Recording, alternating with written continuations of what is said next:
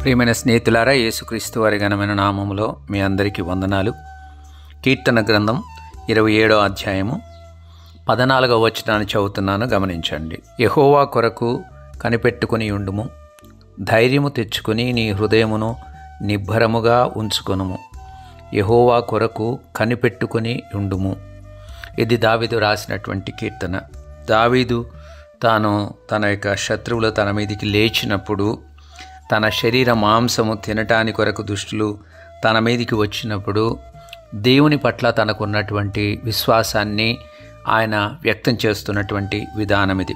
దేవుడు తనకు ఆశ్రయముగా ఉన్నాడని తన యొక్క ప్రాణ దుర్గముగా ఉన్నాడన్న వాస్తవాన్ని ఆయన యొక్క కీర్తనలో మాట్లాడతాడు. తన ప్రాణాన్ని రక్షించేటువంటి వాడు దేవుడే అన్నటువంటి విషయాన్ని ఆయన ఎల్లప్పుడూ మాట్లాడుతున్నటువంటి పరిస్థితి. సజీవుల దేశములో తన దేవుని యొక్క దయను పొందుతాడన్నటువంటి నమ్మకాన్ని ఆయన యొక్క కీర్తనలో వ్యక్తం చేస్తూ ఉన్నాడు. దేవుడు తనను విడిపించగలడని తన మీదకి లేచినటువంటి శత్రువులు తూలి తొట్టిల్లిపోతారన్నటువంటి విషయాన్ని ఈ కీర్తనలో ఆయన మాట్లాడుతూ ఉన్నాడు. అందును బట్టి తాను భయపడేవాడుగా లేడన్నటువంటి విషయము. తనతో యుద్ధం చేయడానికి కొరకు దండు దిగినా కూడా నా మీదకి యుద్ధం రేగినా కూడా నేను ధైర్యం విడవకుండా ఉంటాను అన్న విషయాన్ని ఆయన మాట్లాడుతూ ఉన్నాడు. ఎందుకంటే దేవుడు తన పక్షంగా యుద్ధం చేస్తాడని తన ప్రార్థనకి జవాబిస్తాడని తాను దేవుని యొక్క దయను పొందేటువంటి వాడుగా ఉంటాడని. అందును బట్టి దేవుని కొరకు కనిపెట్టడం ద్వారా వచ్చేటువంటి నిబ్బరము దేవుని కనిపెట్టడం ద్వారా వచ్చేటువంటి నిశ్చయితని ఆయన వ్యక్తం చేస్తున్నటువంటి పరిస్థితిని మనం గమనిస్తాం. ప్రేమైన స్నేహితులారా మనకు విరోధంగా మన శత్రువులు లేచినప్పుడు మన ప్రాణాన్ని తీయడానికి ప్రయత్నం చేస్తున్నప్పుడు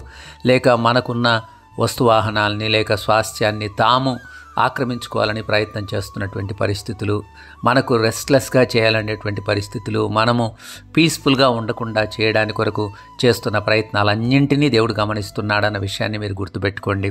దేవుని బిడ్డలుగా దేవుడు తన పక్ష తన ప్రజల పక్షంగా పోరాడేవాడుగా ఉన్నాడన్న వాస్తవాన్ని గుర్తుపెట్టుకోండి. దావిదంటాడు నేను ధైర్యం తెచ్చుకోమని తన యొక్క హృదయంతో నిబ్బరంగా ఉంచుకునమని తాను చెప్పుకుంటున్నటువంటి పరిస్థితిని మనము గమనిస్తున్నాం. మనం కూడా మన దేవుని బట్టి మనం ధైర్యం తెచ్చుకోవాలి నిబ్బరంగా ఉండాలి ధైర్యం కలిగి ఉండాలి. నలభై రెండో కీర్తనలో కూడా తన యొక్క ప్రాణం తాను అంటాడు దేవుని ఎందు నీవు నిరీక్షణ ఉంచుకో అని నలభై రెండో కీర్తనలో మాట్లాడతాడు. నలభై మూడో కీర్తనలో కూడా దాని గురించే ఆయన మాట్లాడతాడు. కాబట్టి మనం కూడా నిబ్బరం కలిగి ఉందాం ధైర్యంగా ఉందాం దేవుని కొరకు ఎదురు చూచే వాళ్ళంగా ఉందాం. దేవుడు మన యొక్క రెస్క్యూకి వస్తాడని మనం నమ్ముదాము.